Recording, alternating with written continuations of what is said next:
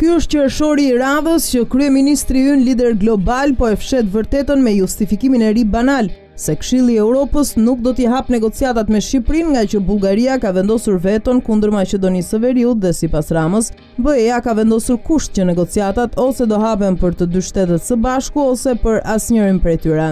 Në fakt, BE nuk e ka bërë kurrë publik një kusht të tillë bllokimi, por vetëm kushtet e paplotësuara nga qeveria dhe kryeministri Rama, jo prej paaftësisë e paqartësisë, por prej mungesës së vullnetit për të ecur në procesin e integrimit. Për moshapjen e negociatave nuk e ka fajin as Bullgaria e cila nuk është kundër Shqipërisë, por as Maqedonia e Veriut që është shtet më vete dhe i ka personale hesapet e interesave me Bullgarinë.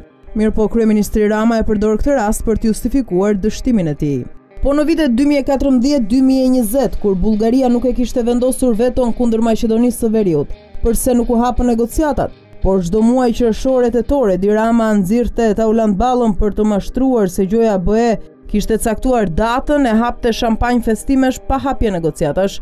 Dhe negociatat nuk mund të hapen sepse nuk është goditur korrupsioni, akoma nuk është pastruar politika, parlamenti, policia dhe administrata nga hlabakët, injorantët dhe eksponentët e krimit. Këshilli i Europës po e shikon me fakte konkrete që dalin përditë, Siç ishte rasti Kajmaku, drejtues politik e kryetar bashkie i kapur me njëzet kilogramë kokainë në Itali. Bashkimi Europian e shikon përditë që vetë kryeministri Rama, ministrat, deputetët, kryebashkiakët, kryedoganierët dhe kryepolicët nuk i kanë prerë lidhjet me trafikantët, por i kanë zgjeruar dhe forcuar akoma edhe më shumë. Shtetet liderë të BE-së me dyndjen masive të shqiptarëve, Kanë konstatuar se kryeministri Rama nuk po investon për vende pune as të ardhurat e brendshme dhe as kreditë e huaja, por po ua jep si koncesione oligarkëve e trafikantëve, të lidhur në interesa me të e pushtetarët.